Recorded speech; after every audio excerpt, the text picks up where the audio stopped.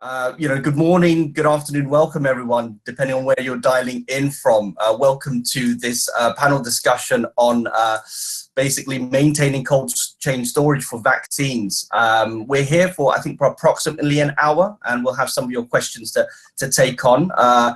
I'm joined by two experts uh, on this particular topic, um, and you know there's a lot to cover here. It's a really big topic, as you all know, uh, and you know any questions that we can't get to, we'll try and collate and answer offline. And please feel free to connect with uh, you know these two experts, Thomas and Hans Peter.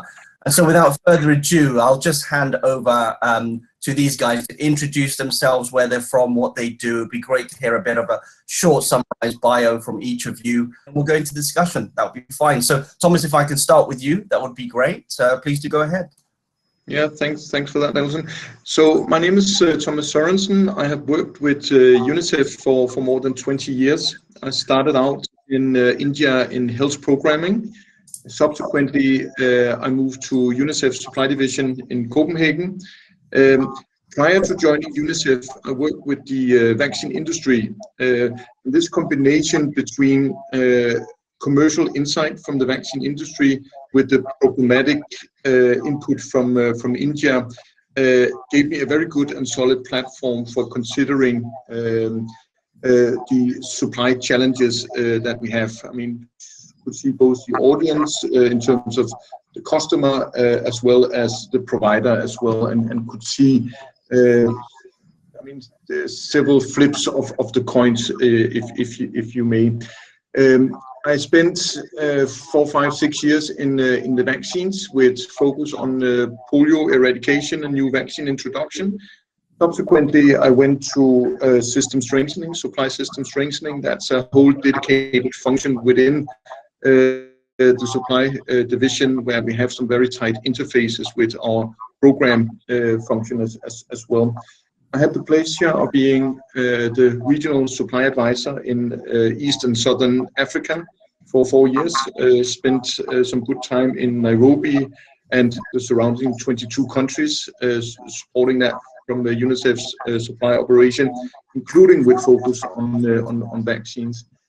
Then uh, in the last three, four years, I've been back here in Copenhagen leading the uh, cold chain team in, uh, in, uh, in supply division, rolling out what is called the cold chain equipment optimization platform program, which um, essentially uh, is about uh, ensuring installation of approximately 100,000 fridges throughout the world both from a procurement and, an installation point of view. So massive logistics exercise uh, in tight collaboration with partners. Um, in recent months, uh, last 12 months or so, uh, like everybody else, we have been also over sort of overtaken by the whole COVID response uh, and, and much of the COVID, the whole CCOP rollout as well as the COVAX response that we have had will be topics that we will be getting back to during the conversation here today, which I look very much forward to.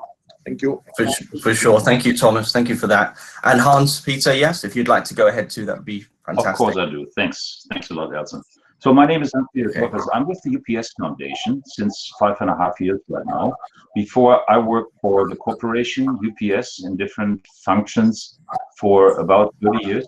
Um, I have worked in uh, operations, in public affairs, in labor, done projects uh, on M&A, um, on a number of different countries where we wanted to invest in uh, and then um, in addition to that a, uh, a project uh, before I joined the foundation on customs um, easement of customs procedures especially which is always a tricky thing. And so that accompanied me into my role when I when I started working for the foundation. Um, so I'm mainly dealing with uh, two different sides of international business of the foundation, um, building the bridge to the UN organization where we are partnering with, and on the other side, um, I'm working as well on programmatic work with those UN organizations and with some bigger NGOs. So the one thing I'm doing is uh, building humanitarian supply chains for um, for our in-kind services that we are offering to some partners. in addition to that, programs that are related to capacity building. Um, and the focus so that has been going on since more than 10, more than nine, 10 years or. So before my time, before I started working with the foundation, and the, uh, the capacity building programs more and more were focusing on uh, on um, resilience efforts.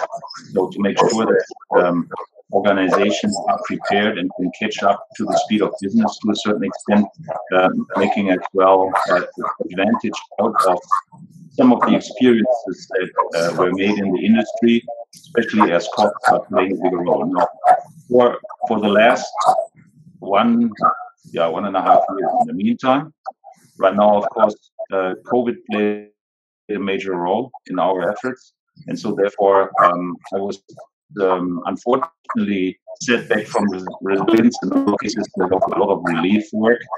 Um, last year with uh, uh, with PPEs in the beginning, and then we started working on uh, on delivering vaccines as well, uh, working with suppliers very closely, um, and uh, we, we, were focusing especially on ultra cold chains um, with our relationship Pfizer and, and and others. And um, since yeah, this year I'm getting an expert in oxygenators.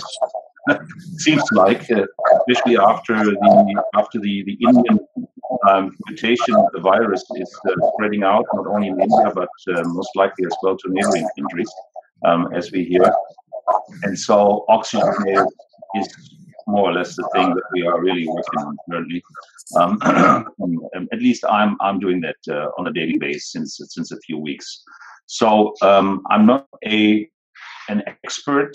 I'm an expert in cold chain uh, in the sense that I have worked for years coaching and so forth, but more or less um, the foundation team that was working on um, on uh, supporting partners um, had a very deep dive into healthcare and strengthening healthcare systems as well two years ago because uh, UPS has a very strong footprint in healthcare and healthcare distribution, uh, offering more or less the entire vaccine supply chain and, and, and then of course all related um, all related services. And that means as well that um, we had the opportunity to uh, you know work with the experts out of the company um, to offer solutions in in a lot of cases um, and then of course running pilots as well especially when when innovations were were were asked and demanded. So that in a nutshell is probably what i'm what i can bring to the table and i hope that we have a lively discussion. Thanks.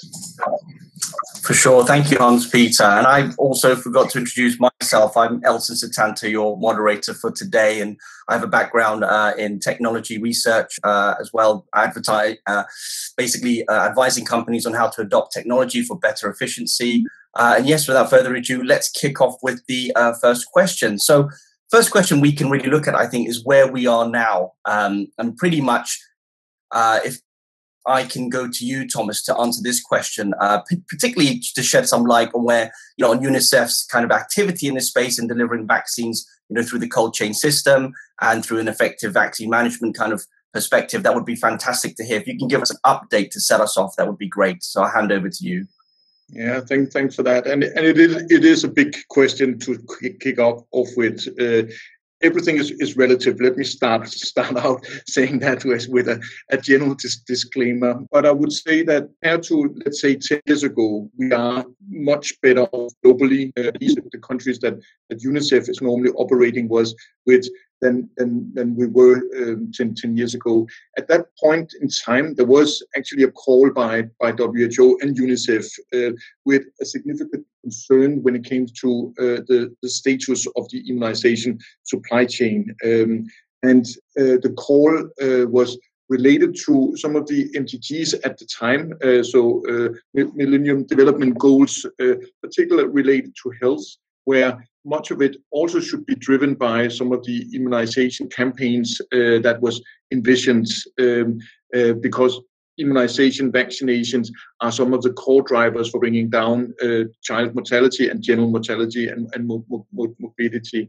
But what was seen was that if we at the global scale were supposed to get all these new vaccines introduced in the system we were looking at a system that was not very strong. Um, so unless that that those bugs in the system were solved, uh, there would be a significant risk that the global community would not reach these ambitious MDG uh, goals. What was set up at the time was the so-called EVM, uh, and it was actually a methodology that has been developed uh, since, I mean, like 15, 20 years, and has been been been been uh, constant, constantly refined. Um, and the methodology is looking at the supply chain, uh, immunization supply chain against a number of different parameters. So when we talk about immuni- when we talk about cold chain as such and the cold chain logistics, that is sort of one dimension of a multi multi facets um, um, um, um, dimensions that, that, that we are we are looking at here. Um, after that call, you can say for for for concern and for for focus, uh, has actually been substantial focus in the global community around this. So when we look into the last five, six, seven years, a lot of investment has been conducted uh, in in this regard, and um, part of it is sparked by that call for attention. Uh, the other one was the, the parallel introduction of uh, of quite expensive vaccines as well. So we had pneumo vaccines, uh, we had rota vaccines uh, on top of the other routine vaccines that was uh, already in the system here. Um, and clearly, when you are introducing expensive vaccines in order to obtain these um, critical health goals, you also need to make sure that you are not dropping the investment. So uh, you might save a penny on the cold chain, but I mean you lose a dollar on the vaccine wastage if you are not careful. And, and I think that that that outcry was uh, was uh, listened to uh, high, high, and loudly. What was uh, seen, and then I'm just maybe just scrolling in on the uh, the specific CCOP program that I was talking about before. So that's the cold chain equipment optimization platform under Gavi was an investment for around half a, a billion US uh, dollars over uh, four years with introduction of um, updated cold chain equipment, um, where you alongside that were also addressing some of the other dimensions on the EVM um, uh, dimensions that I was talking about before. Um, it will probably be taking too much to drive in dive into the specifics on, on, on, where has the progress been made but as your starting point where are we as compared to maybe where we were 10 years ago i would say these investments that have been made uh, recently has brought, brought us to a more comfortable place you can say and it has also been extremely timely that these investments were, were made some four five years ago and rolled out uh, as as more or less as we speak um, because without that, when COVID and uh, subsequently all the vaccine distribution requirements were hitting, uh, if we hadn't done these investment at that time, we would have been uh, uh, in, into to, to a more much more troublesome situation than we actually are today. Let me just stop there and Hans, you might also have perspective from the. From the yes, sure, Hans Peter. If you'd like to go ahead and, and contribute to Thomas's views, that would be great. I mean, um, this is this is all good, and I think I think that um, you know uh, that the that in the past years the um, the uh, the cold the cold chain and systems in countries um, through the investment Thomas was was mentioning.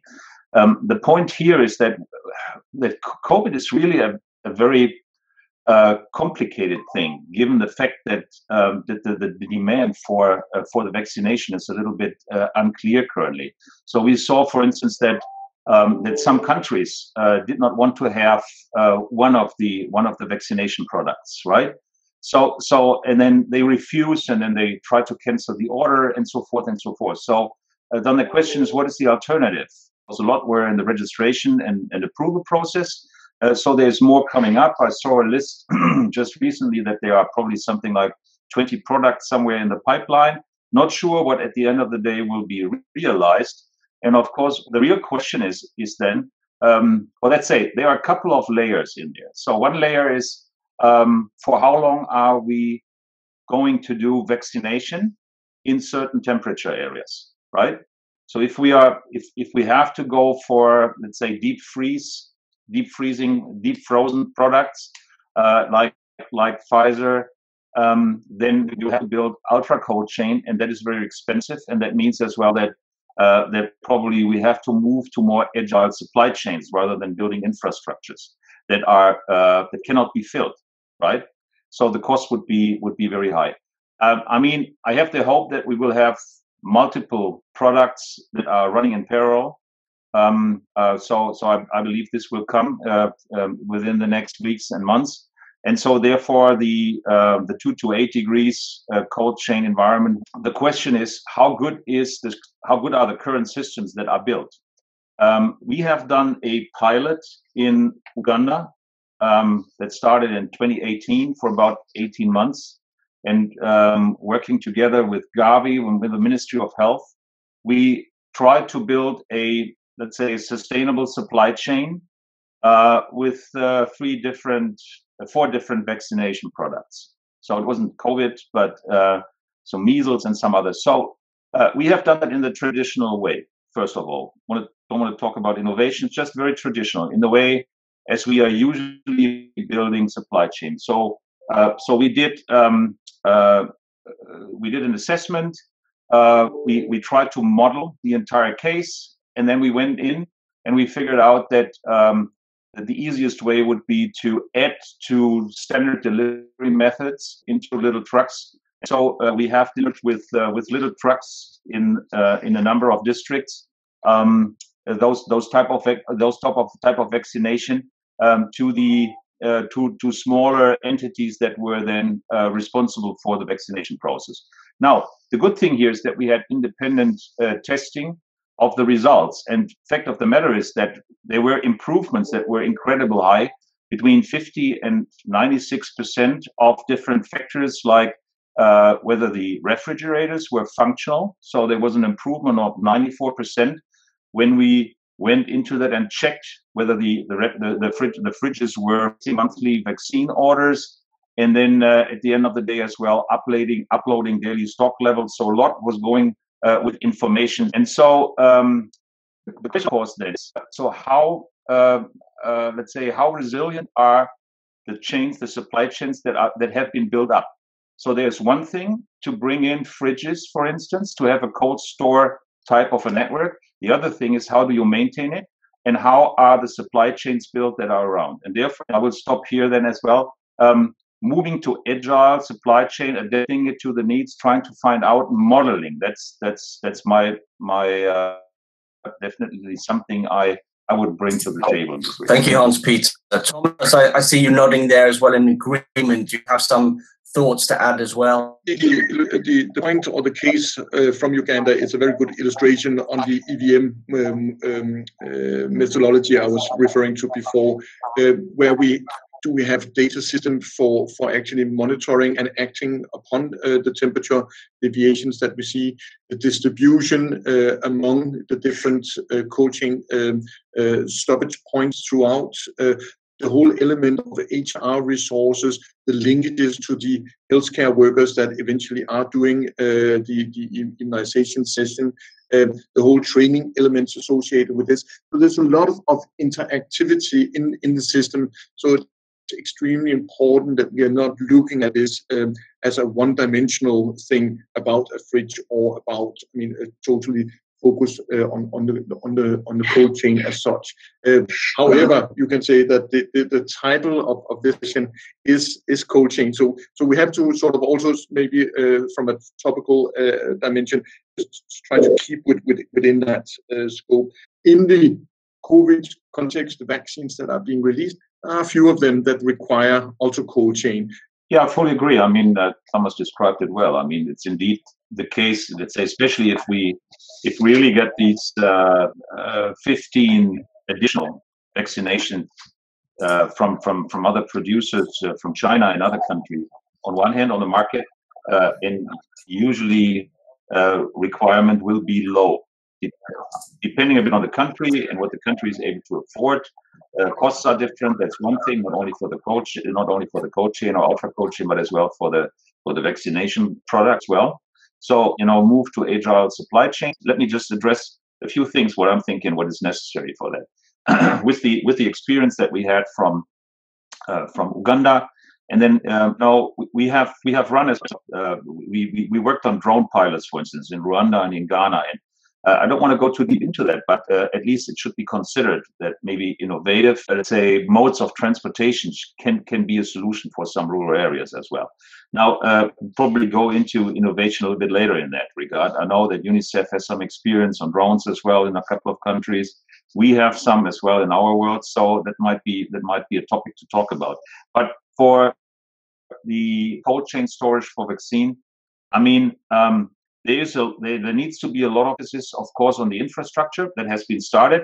Uh, there is a big question how the how the infrastructure structure should be set up. Every country is a bit different, so there is no one size fits all. But uh, in most of the countries, you have a type of a hub and spoke system, uh, as we would call it in in our world, in the logistics world, with uh, with uh, let's say main hospitals or main distribution points as well, and then some sub points where uh, where either um, a smaller, very short distribution chain to the end point uh, then will be conducted, or where even vaccinations are given, so that people are coming to that point. So we have already last year, um, some type, I think in October or so, I was on a panel.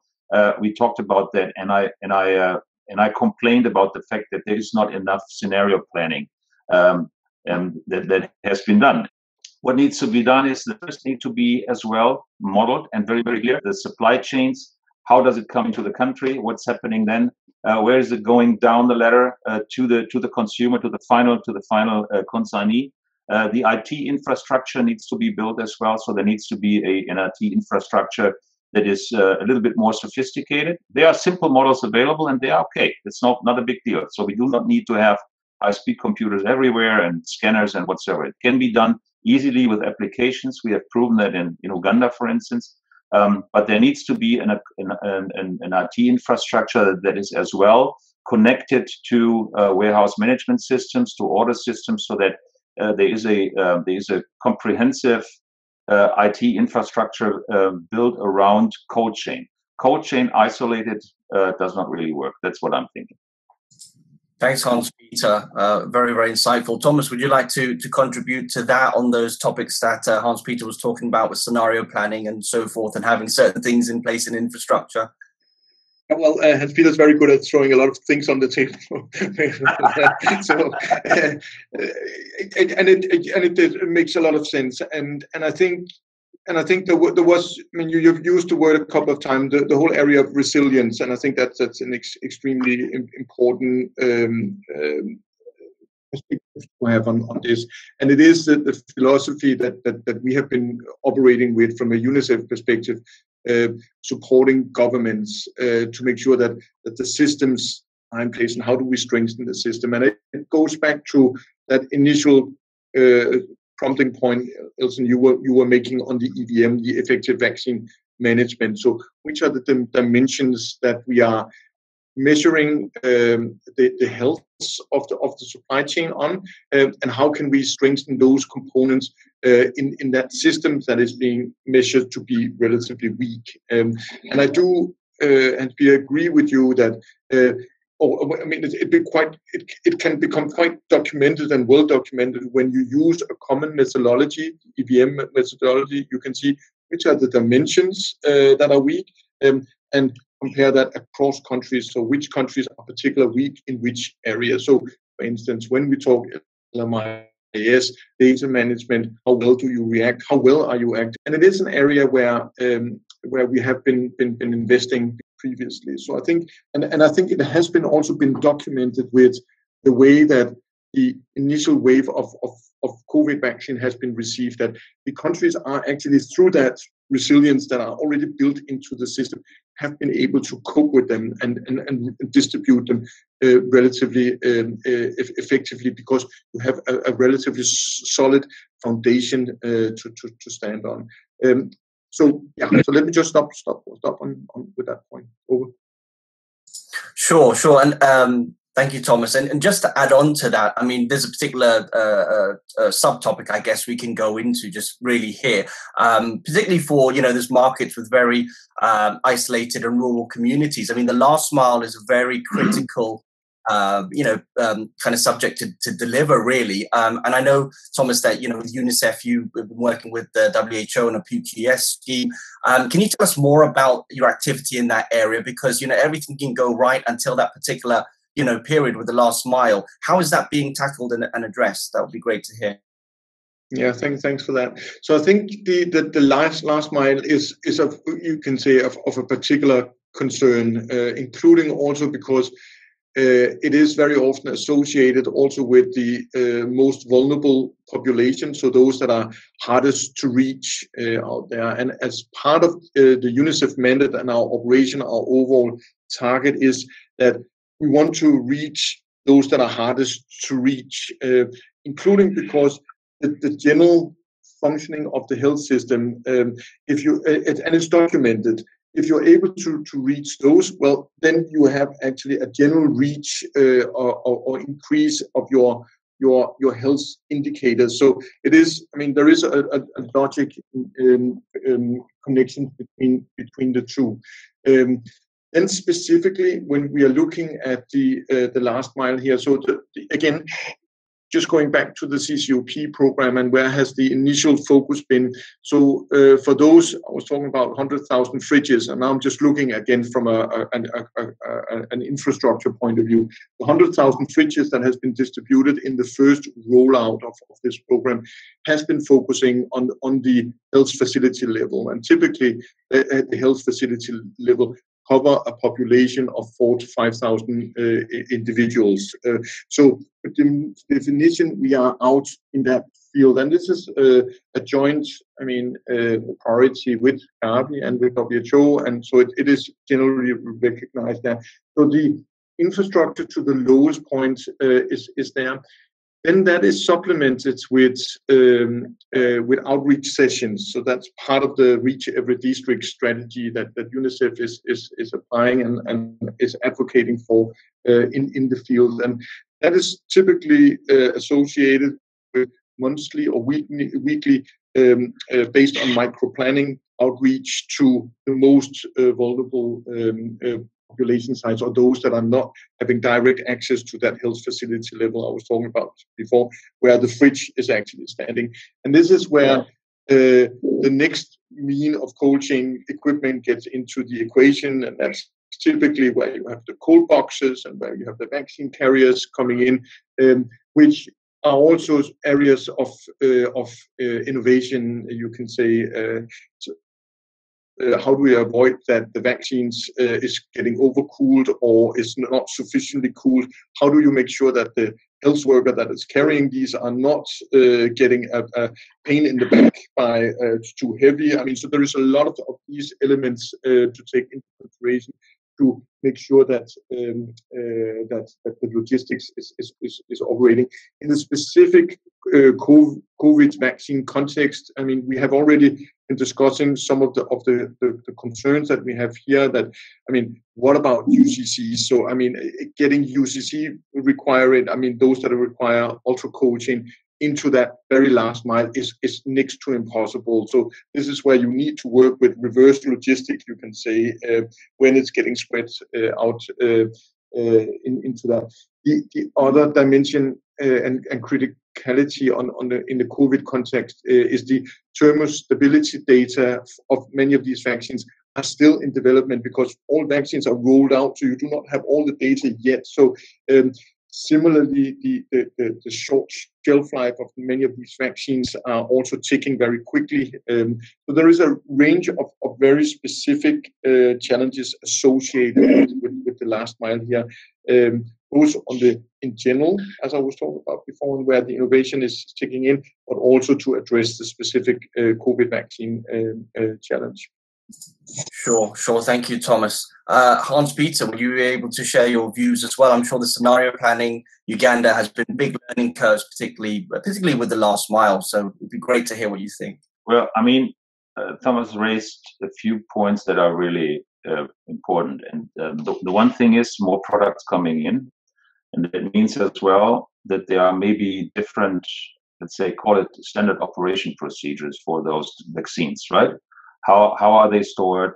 Uh, you know maybe maybe uh, uh, some some of them are you know are due earlier than others. So so those type of things need to be need to be taken into consideration especially if there are choices. So i'm not sure no idea currently um, how it looks like in a year from now but what I could imagine is that when when more vaccine is available, let's say from 20 suppliers, I'm just throwing an, a number into as an example, uh, then uh, then countries might order from different suppliers, um, as we have it right now with mainly three, two or three suppliers uh, in the European Union, for instance. But um, how, is it in some of the countries in the LMIC countries? So they might have 15, 10, let's say 10 different vaccines um, in the system that are um, that are uh, that, might have to be treated in different ways. So what we need is uh, education and training as well.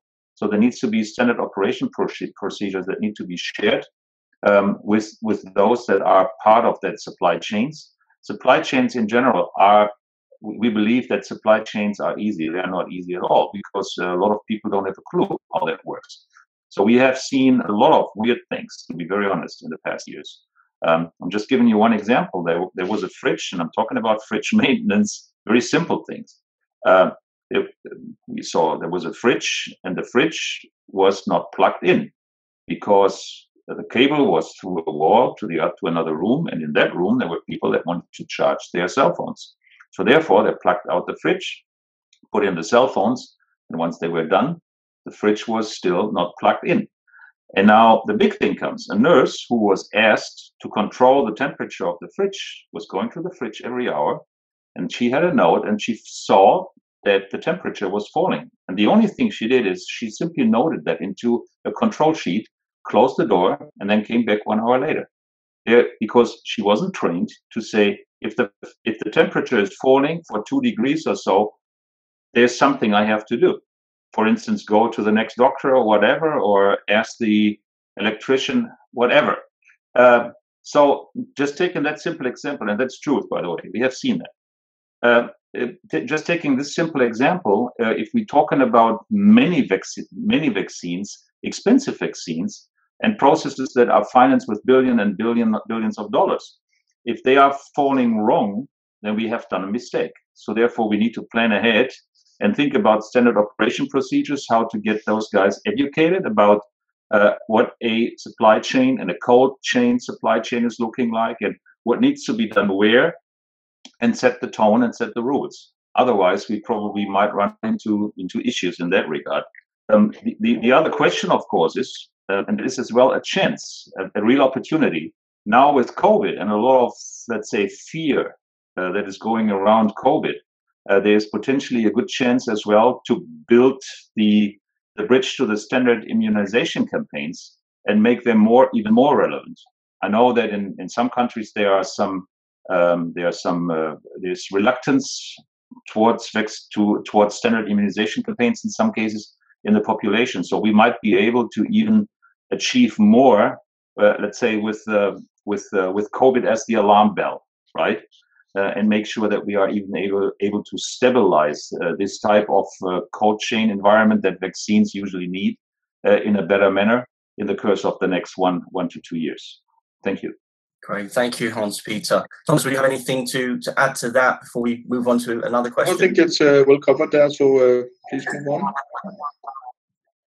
Okay, sure, sure. Well, let's move on to perhaps something uh, like you know different markets and how some countries may lack cold chain storage capabilities. I mean, we heard your example there, Hans Peter. Really, uh, so you know they lack kind of uh, cold chain storage capabilities for vaccines and the difficulties that these you know uh, propose. Um, Thomas, you had said in some answers really that um, you know the the, the way um, you know you're approaching it is that identifying the gaps really, and you know through inventory systems and gap filling measures. Um, can you tell us more about you know this particular approach? That would be great.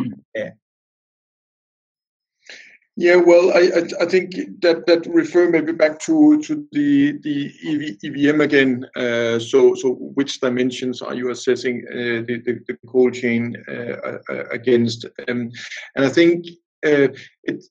And I think actually, no, actually taking that because the, the also the EVM is is is trying to to have some standard operation or have some implicit standard operation procedures uh, as the backbone when, when that uh, methodology is developed. Uh, actually, going a little along the lines that, that Hans Peter was referring to before.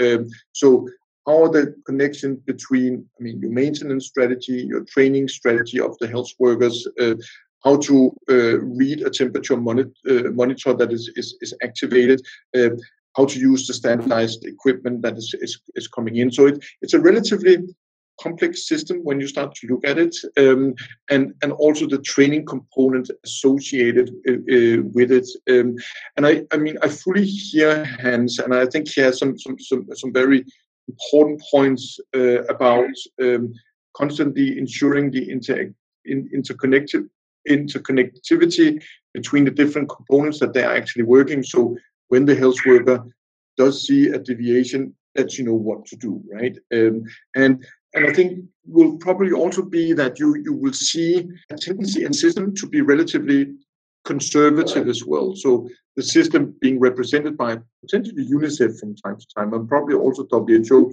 being even more conservative of making too many changes. Because if you start to change one component of your system, well, then the assumption about how it interplays and interface with the other components start to be uh, uh, be challenged.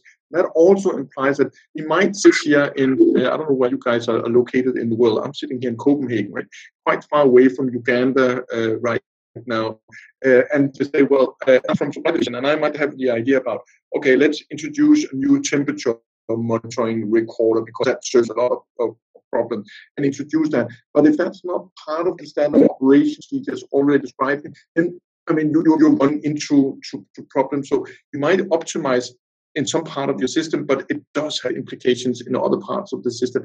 And those are the general challenges that we are, are facing.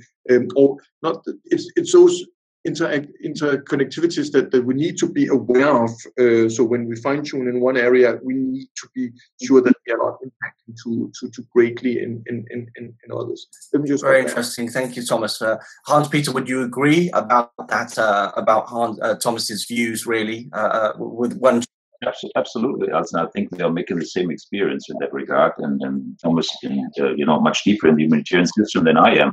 Uh, probably um, through work uh, with the country officers and support, we'll, we'll, we'll even uh, have more details on that. But what I can, can tell you is very simple. I mean, we were working with UNICEF years ago on a, on a on a program that was called um, that was called Viva, right? And Thomas might recall that Viva program called Viva, meaning visibility for vaccines, which is a very simple thing. It was more or less like a program um, that helped uh, um, um, vac vaccination offices in, in countries, in in, uh, in different countries, especially uh, in in LMIC countries, uh, to let's say have an overview on their on their stocks, and then it offered as well some visibility tools to make sure that uh, that a that a person that was uh, responsible for purchasing or ordering vaccines could go to uh, his or her finance minister and tell, well, see, this is the projection for the next weeks. And if we continue doing that in that particular way, then we will run out of stock in four weeks from now. So we need to order now. And so simple, right? Simple thing, not very complicated. Okay, so that is in the meantime, this is a standard application within UNICEF. However, um, we came to the conclusion that it is probably um, interesting to more digitalize all the different aspects around healthcare supply chains and vaccination, especially vaccination. And so uh, the idea was born for a stock management tool that should include different aspects of stock management, order management, and then some some uh, some um, some functionalities that were provided by Excel tools through the WHO. We wanted to, you know, have a real integrated system that is, let's say, closer to the to the to the to the to the industry um, in the sense that you know taking advantage of what has been invented there in the past years. It was not possible that easily because uh, the ideas were to make it very good, but it was too complex for those who could do it. Uh, so training and so forth was a big was a big thing in that regard. So, nutshell version here is um, the more we are thinking about integrating that into standard immunization campaigns, having complex supply chains, making sure that we have as well uh, controlled, controlled IT controlled environment, The more aspects and layers are coming into that, it is getting complex. And for complexity, in some cases, there are not the people around that are trained for doing it. And so this is the big problem where we can fail in really doing doing good in that regard, especially in LMIC countries. That's what I think is, is relevant in that in that aspect. Thomas, would you would you agree as well um, with this increasing complexity and having to manage that? Yeah, yeah. I mean, simplicity is king. I mean, that that really should be be the mantra here, uh, and and I think the the the, um, the, the, the struggle is to to also really to separate between all the good ideas that are coming in because all the good ideas, I mean, is is is at risk of of just increasing the complexity all the time. And, and I think both at local, but also at some of the global guidelines that can be coming out. So I think really uh, to, to have, have that in mind. I think maybe one of the, the examples um, that, that, that, that can probably also be given, and, and I think it's, it's, it's, it's touched upon in, in some of the other um, uh, prior discussions that, that we have had here is, is also some of the private sector in, involvement in, in, in handling this. And sometimes that could potentially be some of the, the, the disruption that, that could, could be happen, happening. And I think maybe just using an example that, that we have uh, in the in the, the current system, uh, just looking uh, that has been evolving out of the CCOP and, and the the the, the um, ambitions of, of thinking more in, from innovative perspective here that uh, as we are introducing new fridges, uh, it's also potentially, or not potentially, it is very often also coming with what is called remote temperature monitoring devices, RTMDs. Um, and, and, and those RTMDs will be able to send a signal from the fridge and say, well, right now feeling too well. My um, the fridge is not feeling too well.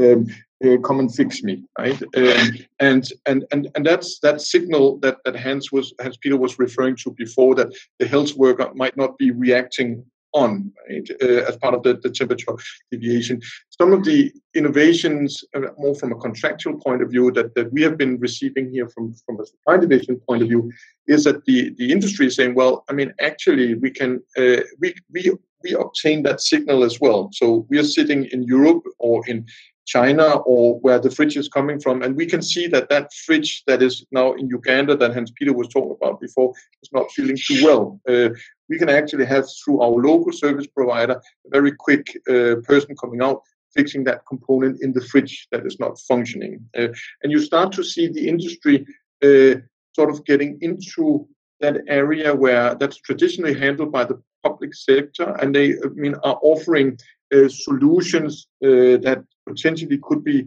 handled via a private service agreement instead. So rather than internalizing it in the government system, you can actually outsource it and sort of get rid of the he- headache from a public point of view um, by, by by paying the amount. And it, it and it's, it's it sounds very appealing in, in many ways. And and and it is also tested out there in, in and, and tested at scale because some of the manufacturers are using this as part of their their new contractual setup. It does come then though with with with with some of the other uh, challenges associated with that you, you start to shake the tree. I mean so you have your standard operation procedures and how things are working and you might fix it for your immunization supply chain but what about your supply chain for the other commodities that are also dependent on the same services that is built around that public uh, so so you, you you have disruptive innovative ideas coming out of programs which from an isolated perspective can be working and I mean definitely are working. But one of the impacts in the other parts of the system, I think, is ex- extremely interesting from a you can say an intellectual point of view and also a practical point of view as we implement for the moment to to observe and to to monitor where is it actually moving and what how does how will it impact also some of the global guidance that that that we are providing so this is just an example of of how to at one have have one hand have a simple system that you want to maintain simple and we simplify it even further but if we simplify it by using another sector what are the other implications that that, that would have in other parts of our system I hope this makes relatively sense. Oh, very much so, very much so, Thomas. Very interesting, very, very much so. Um, Hans Peter, would you have anything to add on to that? You know, with other external involvement, you know, as part of the solution, that would be great to hear. Well, that's a um, that, that, that's definitely right in the middle of the right in the middle of the of, of, what we need to do. So using technical innovation that is available, especially it is getting cheaper, right? So I'm thinking about the fridges. I mean, in two years from now, you probably don't don't get any fridges on the any fridge on the market that is not speaking to you, right? So that means there's a certain portion of intelligence built in any anyways, and that means that this intelligence then will be in a 300 euro fridge for for the Western world and for for maybe some of the some of the countries where where fridges are are, are standard in every kitchen. Now. Um, now that means as well we can use that one and then uh, connect with connect with uh, let's say supervision supervisory systems as well good idea, great. And I'm sure that this is something that will come more and more. Um, we have to make sure that we are that with the health workers at the end that they don't feel remote controlled in each and every thing they are doing. So there's a little little red light blinking somewhere, and then uh, two minutes later there's a phone call coming from a from a from a central unit saying, "Hey, you have to do now A, B, C, D, E." Right? So you, you potentially look feel a bit strange strange in that regard. So we have to make sure that people understand that it is for their health. But in any event, best practices to use um, uh, is always good to look into what is going on in neighboring markets. For instance, I mean, I was talking to an Indian group yesterday. Um, they wanted to know and talk about how can they build uh, sustainable supply chain uh, and uh, order management and so forth for oxygen, right? So that's the top thing. And I mean, uh, you know, I'm not an expert in building oxygen supply chain, but there are a couple of things that we know which can work. For instance, in uh, some of the projects we were doing, we were working with gas bottles as well, right? So we figured out that a lot of fridges were driven by gas, not by electricity. So that means that um, that gas bottles were needed somewhere, and so um, gas bottles then were part of an existing supply chain. So when people went out, um, for delivering stuff, they they had gas bottles in their uh, delivery trucks as well, and brought them to the sites. And now, if you if you think further down the line, then you say uh, the the more you are able to use existing infrastructure, the better it is, because at the end of the day, it's about uh, utilization of inf- infrastructure, which is driving costs down, right? So the less the, the less you have fixed investments, but to the extent necessary, you only have fixed investments, then then you probably uh, are agile in the sense that you can build sustainable supply chains and then work as well through different modes of transportation. So open using infrastructure and be open. Fantastic. Thank you, Hans Peter. I think we'll we'll we'll leave it there. Very good points for the audience to take away. So I think that brings us to the end. I would have liked you guys to sum up more, but I think we've run out of time. I think we've we've gone through a lot of detail there. So thank you very much, both Thomas and Hans Peter, for uh, for joining. And I think you know any questions that will come through, we'll collate and get back to you offline. So thank you very much. And hopefully we can have this talk again this time next year and see how things have progressed. But thank you for a very insightful, interesting discussion to you both and to the audience for joining. All right. Thanks a lot.